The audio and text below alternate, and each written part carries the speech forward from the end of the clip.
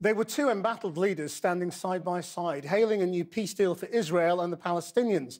Donald Trump, in the midst of his impeachment trial, standing next to the Israeli PM, Benjamin Netanyahu, who only today was indicted on charges of bribery and fraud. Mr. Trump said it was the deal of the century, but it has been met with hostility from Palestinian leaders. Our Foreign Affairs correspondent, Jonathan Rugman, reports.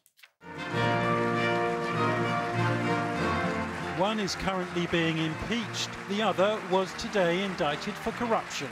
But as coincidence would have it, the three year wait for President Trump's Middle East peace plan is now over. All prior administrations from President Lyndon Johnson have tried and bitterly failed. But I was not elected to do small things or shy away from big problems. My vision presents a win win opportunity for both sides, a realistic two state solution that resolves the risk of Palestinian statehood to Israel's security. Today, Israel has taken a giant step toward peace. Mr. Trump said eastern Jerusalem would provide a Palestinian capital.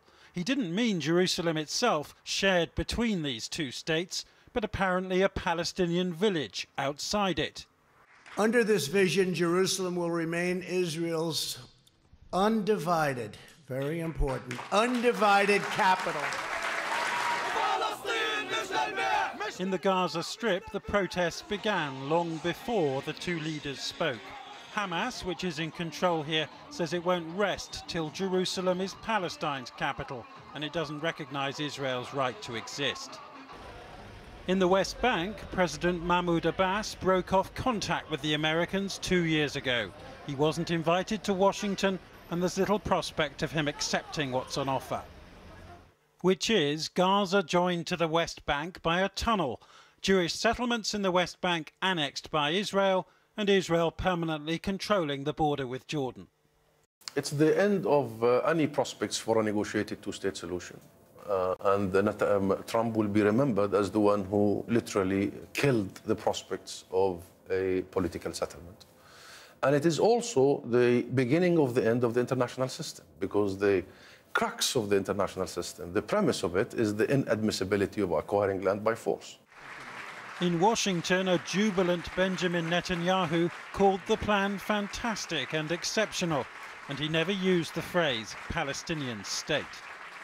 Mr. President, your deal of the century is the opportunity of the century. And rest assured, Israel will not miss this opportunity. The question now, though, is whether he will annex these Jewish settlements in the next five weeks before Israel returns to the polls. And if so, Palestinians seem set to respond with violence. Alternatively, this plan may come to nothing. So good for Netanyahu that the Palestinians will try to wait it out. Wait, in fact, for both these men to leave the stage and to try again when they've gone.